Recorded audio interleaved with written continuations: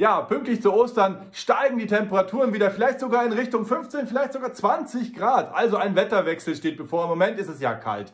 Also ein kaltes Hochdruckgebiet über den britischen Inseln bringt uns ja Frost und Schnee, aber ein Wetterwechsel steht bevor denn vom Atlantischen Ozean, da kommt ein neues Tiefdruckgebiet und bringt dann warme Luft nach Deutschland, eine richtige Wärmepumpe, ein Wärmemotor springt an und das merken wir auch. Noch nicht in den kommenden Tagen, aber so ab nächste Woche Mittwoch steigen dann die Temperaturen deutlich über 10 Grad und dann auch ja, in den Folgetagen auf 15 oder sogar 16 Grad am Rhein, also fast schon T-Shirt-Wetter in ja, Ende März und dieses Wetter hält sich auch bis in den April. Das heißt, auch an Ostern wird es mild, wird es warm. Es könnte ein bisschen regnen, das muss man schon sagen. Damit muss man rechnen, aber das ist auch nicht weiter wild bei endlich mal wieder höheren Temperaturen. So, das Winterwetter hat auch ausgedient. Vom Polarwirbel werden wir nichts mehr hören danach. Eher von der Sonne, denn die übernimmt mehr und mehr eine tragende Rolle im Wetter und wird auch unser Wetter in Zukunft bestimmen. Also der Winter ist vorbei, der Frühling hat begonnen und zu Ostern wird es mild. Das sind doch schöne Nachrichten.